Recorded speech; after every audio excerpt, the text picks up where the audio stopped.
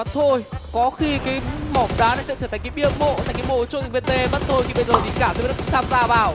Ba đội cũng bắn vào TE như thế này thì thực sự là rất khó, kể cả giữ được người thì chắc là à, cũng chỉ còn một hai player thôi. Còn trong đó thì XS đang làm hộ việc các thành viên bên Đây phía có quả lửa rồi. Điều mà tôi đã muốn nói từ đầu quả lửa này nó khe quả lửa quả lửa đâu rồi?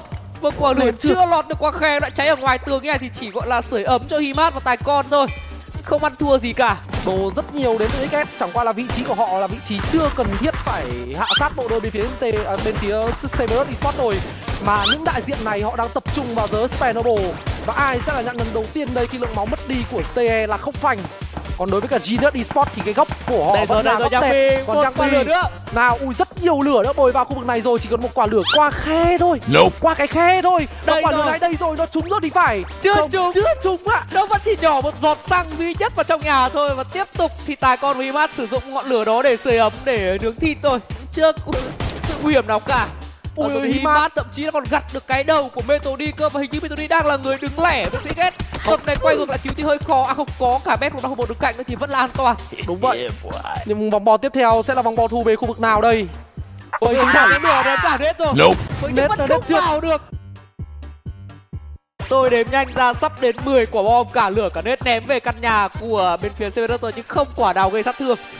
Căn nhà nhỏ nhưng hạnh phúc không có to anh huy à. Vâng bắn nổ xe sao bao bị nốc ảo.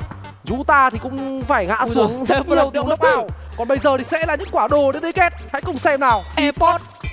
Airport ơi Airport đến gần hơn để ném rồi và đến gần là không không lý gì đếm trượt được nữa. Cả tài con cắt chết với chỉ 14 máu nhưng tôi Nope. vấn đề đã Hết thời rồi. gian nhưng hết rồi. Hết bom đến từ Airport mất rồi. Chắc và Mi như còn. vậy thì là vẫn còn cơ hội cho Severus. còn. nhưng Yang Mi còn nhưng nên nhớ rằng Yang Mi là người trượt cơ số bom mìn trước đó. Ừm, hồi máu liệu rằng 7 giây có là kịp hay không đây? Đến Airport rồi, ơi đây sẽ là ui Nope. trời ơi rất đáng tiếc bom plat quả plat thì trúng nhưng quả nét thì trượt. Nhưng bây giờ thì tiếp thêm nhau đẩy rồi ra. Chắn Yang Mi có bạn của Drone Himat tiếp tục flashbang. thì đó là vẫn còn tài còn. Đây chỉ là còn ăn flash nữa mà thôi. Flash chặt như này thì trời kêu các thành viên của Severus dừng lại vị trí top 6 và đó là một pha giao tranh rất tốn đồ của XS còn quay trở lại với cả Zillion thì sao? Họ đang bắn phá tan đất của GE rồi với sự trợ của UDC top 5 đã có chủ gọi tên các thiên tài Genius